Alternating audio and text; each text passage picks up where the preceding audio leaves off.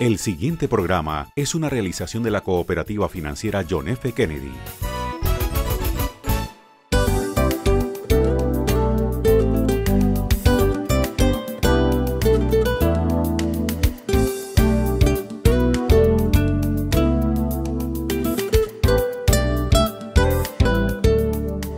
¿Qué tal? Bienvenidos a nuestro programa.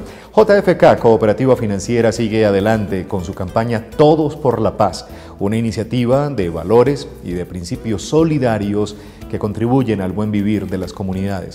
Este mes la invitación es a la tolerancia. Ya regresamos.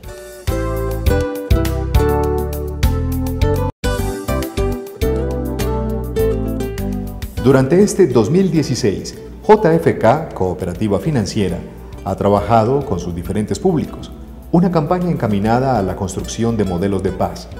En ella, la tolerancia es sin duda un paso esencial para lograrlo. Podríamos hablar del concepto de tolerancia como la capacidad o virtud que desarrollamos todas las personas de entender al otro desde su diferencia y esa diferencia entendida como sus preferencias religiosas, sus gustos, eh, sus aficiones, sus identidades, desde un lugar que no necesariamente tiene que ser el mío o mis gustos. Más que aguantar, ser tolerante implica aceptar al otro, una práctica algo distante de nuestra realidad. Bueno, eh, son dos conceptos que suelen confundirse. La tolerancia nos permite entender al otro desde su diferencia, pero también nos tenemos que cuidar a nosotros mismos y saber hasta dónde podemos llegar. El aguantar inhibe lo que yo quiero hacer, lo que yo quiero pensar, ¿cierto? Y cómo me siento.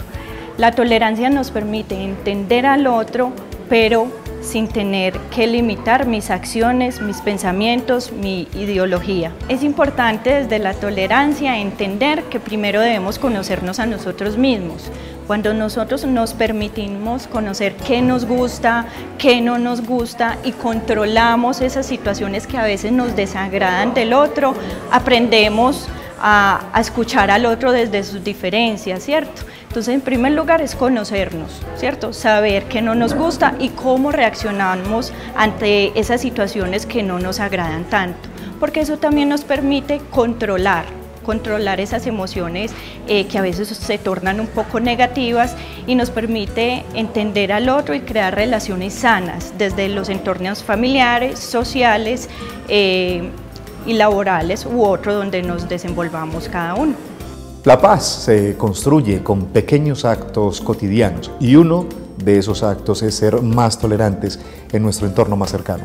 Gracias por acompañarnos, los esperamos mañana antes de Teleantioquia Noticias.